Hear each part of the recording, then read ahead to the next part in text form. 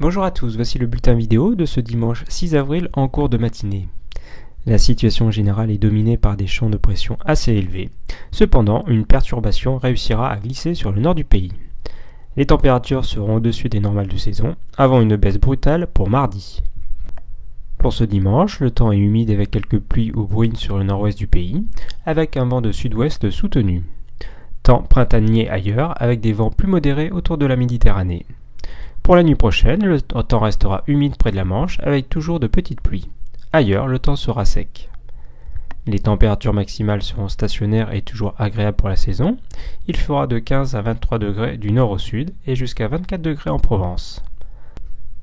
Pour la journée de lundi, un nouveau front gagne le nord-ouest du pays et occasionne des pluies localement soutenues, avec un vent de sud à sud-ouest modéré à assez fort au passage du front, avec des pointes proches de 50 à 70 km/h. Ailleurs, après dissipation des brumes ou bancs de brouillard le matin, le temps sera bien ensoleillé et peu nuageux en général.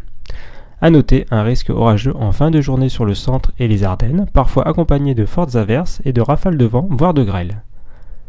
Les températures maximales seront en très nette hausse et comprises entre 14 et 17 degrés près de la Manche, entre 20 et 24 degrés ailleurs, jusqu'à 24 à 27 degrés sur le sud-ouest. Ce dimanche, nous fêtons les Marcelins, le soleil s'élève à 7h19 et il se couchera à 20h28. Si vous désirez plus de précisions sur votre commune, vous pouvez consulter notre site internet sur www.agathe-france.com ou appeler nos répondeurs au 0892 46 38 36.